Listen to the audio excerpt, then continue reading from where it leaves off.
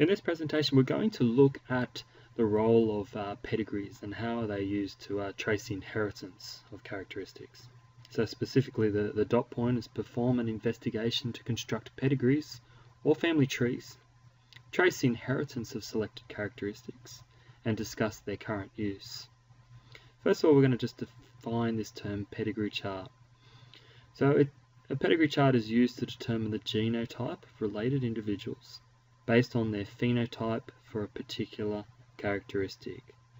So the word genotype. Genotype refers to the all genotype it refers to uh, the genes that are present and we can't see them. However, genotypes are made up of uh, alleles, which are variations of a gene. So alleles, the variations the variations of a gene. And we know, in general terms, a lot of the work that Mendel was doing, they looked at uh, there being dominant and recessive alleles. So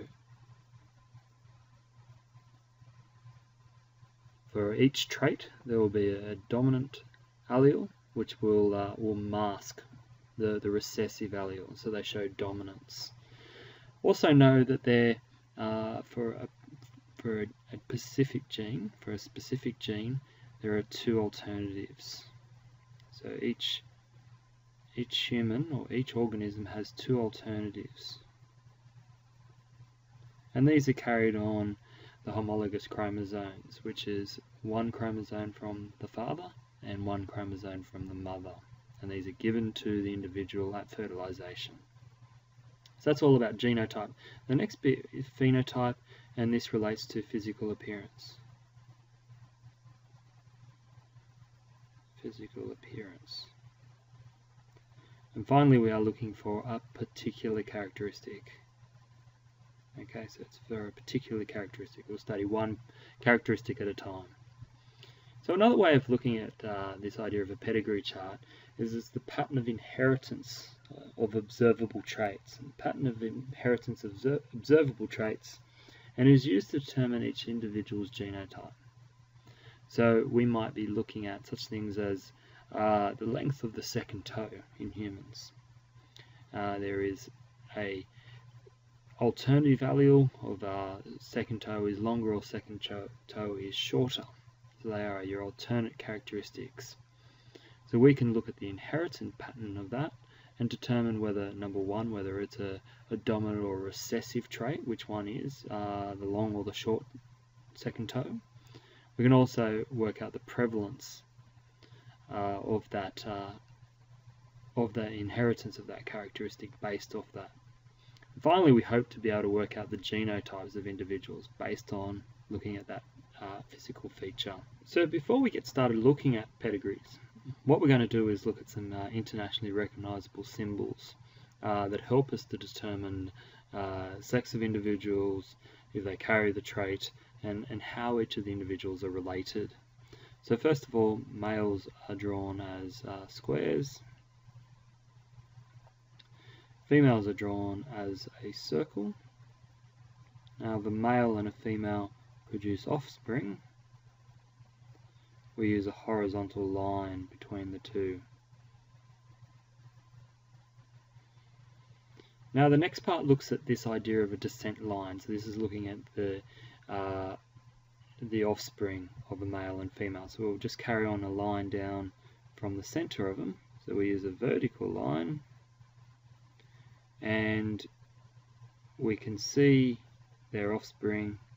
We don't connect the offspring because that would mean that they have had offspring between them and, and that's not desirable uh, thing so we we show them as coming off the parents so we can see in this example that that man and woman have had uh, a boy, a girl and another boy. The other way of drawing descent lines would be if they had twins. So twins would be drawn off the same point and if they're identical twins then they they would be both girls or both boys.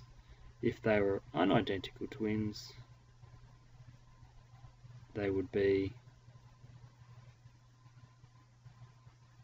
so if they're unidentical twins we would still see a line coming off together and we would see that they are different sexes.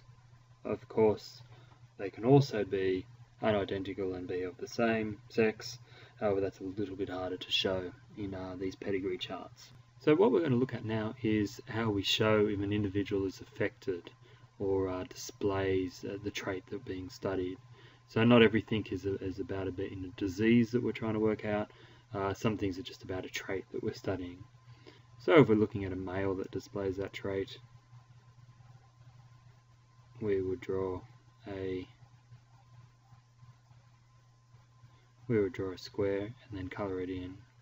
And then same for a female.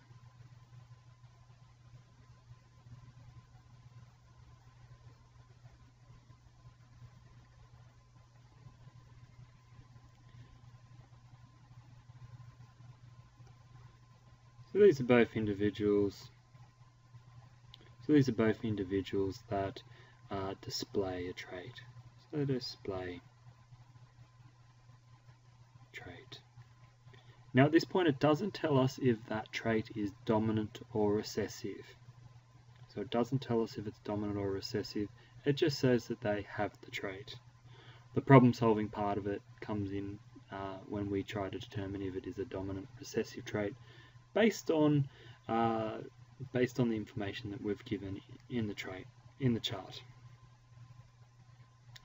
So individuals who are not affected, again, males would be a square. That's a male not affected and a female not affected. So they don't dis display the trait. They don't dis display trait. So the following is an example of a pedigree and I'm going to uh, annotate it as we go. So for to start off with we have a, a male and married to a female and they have three children. So our line goes across to say that they have offspring together and then our line, our vertical line down says that they have had offspring. Now in this case the offspring are going to be three males.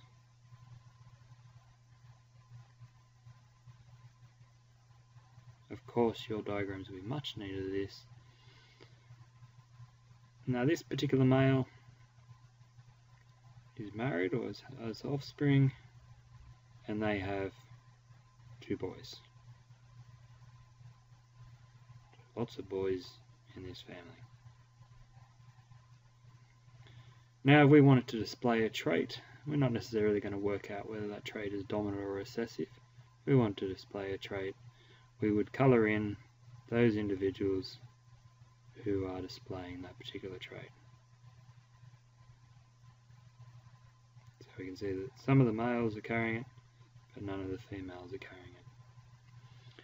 Now to identify those individuals in the pedigree, there is a couple of things that we do. We use Roman numerals to determine the generation. Our first generation, or the grandparents, our second generation, the three boys, with one of the boys married to uh, to a female, to a woman, and the third generation with three, uh, with two boys. So we can assign each of the individuals a uh, from each generation a number, and we start at we start at one. Okay, so down here we have one, two, three, hopefully that doesn't keep on deleting it, and 4.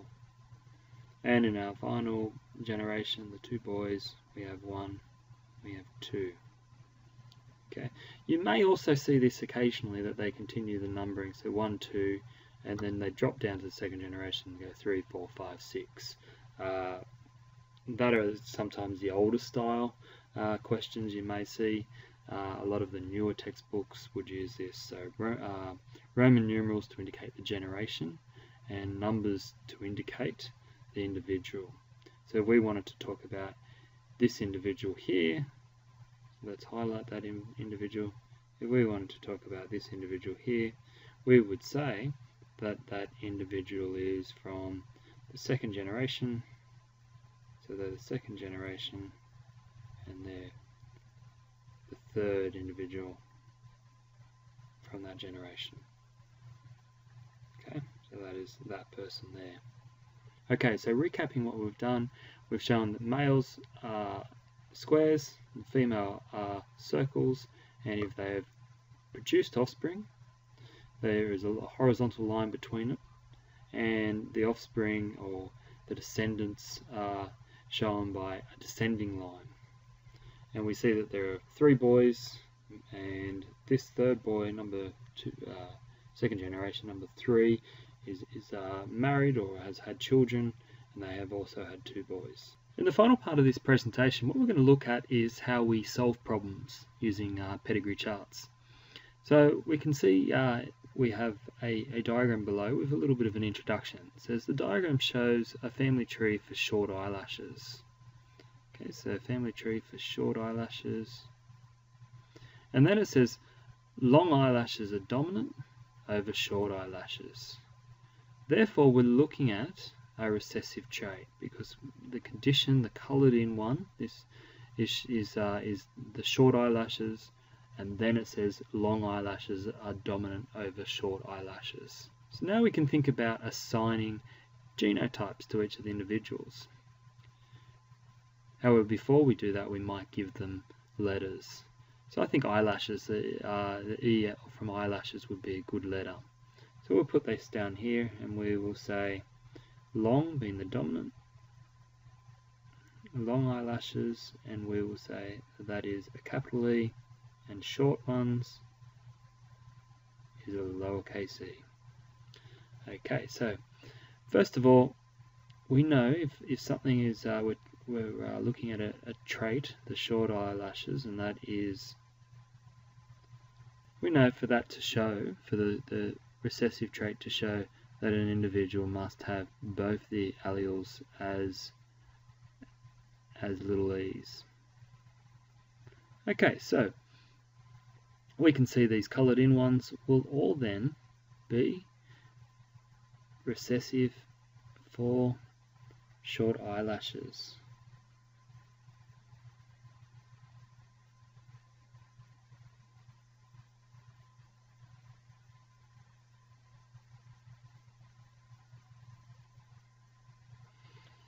Okay, so next we need to work out whether an individual is uh, dominant, uh, so homozygous dominant or heterozygous dominant. So the way that's written would be uh, for homozygous dominant. So they have all these uncoloured ones are long eyelashes, and they're either homozygous dominant, which would be capital E, capital E, or they are heterozygous and they would be capital E, little e.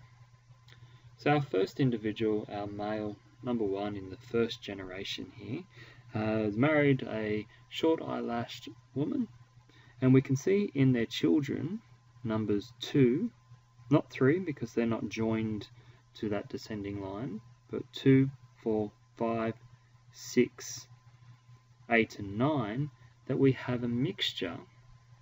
So let's highlight them. So we have a mixture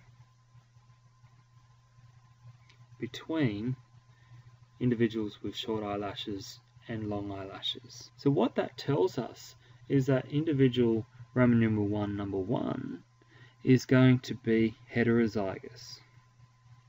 So they're going to be capital E little e.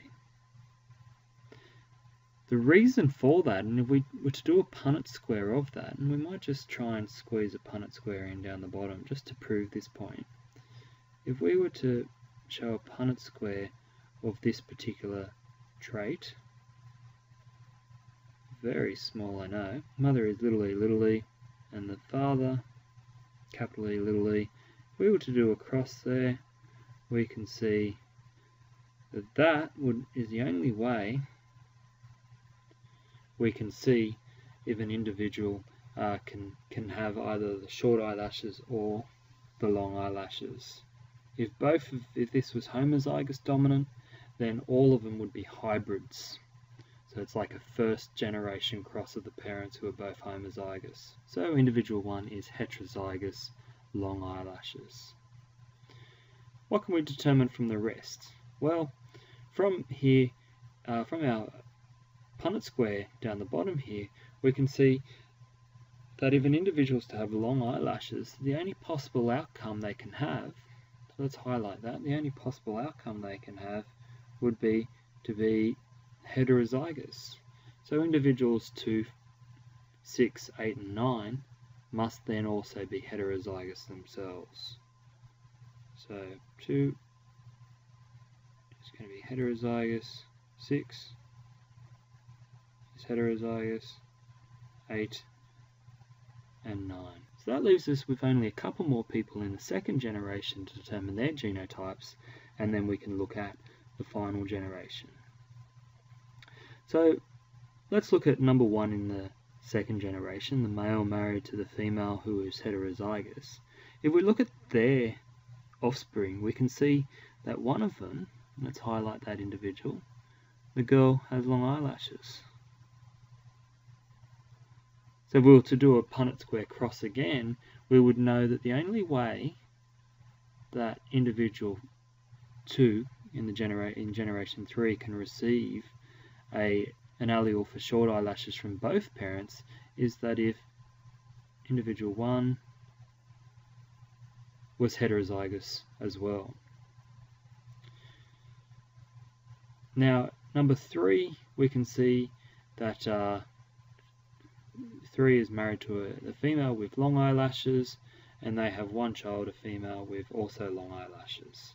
So there's not enough information here because a cross with either homozygous or heterozygous for number 3 would still produce a child who is homozygous or heterozygous as well. So we can't determine them fully. We know that they are long eyelashes, but we don't know if they are homozygous or heterozygous. Individual number 7, female married to a long eyelashed uh, a long eyelashed male If we take a look at individuals 6 and 7's children, we see that they have a long uh, eyelashed individual, number 4, and a short eyelashed male, number 5. Therefore, for number 5 to receive both uh, alleles from, from the parents as, uh, as the recessive, the little e, then individual 7 must have a recessive trait hidden in the background. That is the only way that they can give, each of them can give a recessive allele to number 5. Number 4, again there is not as much information. So we, we can't determine fully, number 4, they could be either homozygous dominant, so long eyelashes definitely, homozygous dominant, or heterozygous, a hybrid of it, both carrying a dominant and a recessive allele. So the only one to look at then is individual 1, uh, number 3, and, and again we're in the same position as individual 4 in generation 3, is that because both parents are heterozygous, it is plausible that they could be homozygous long eyelashes or heterozygous eyelash, uh, long eyelashes. So we can't determine individual 1 completely.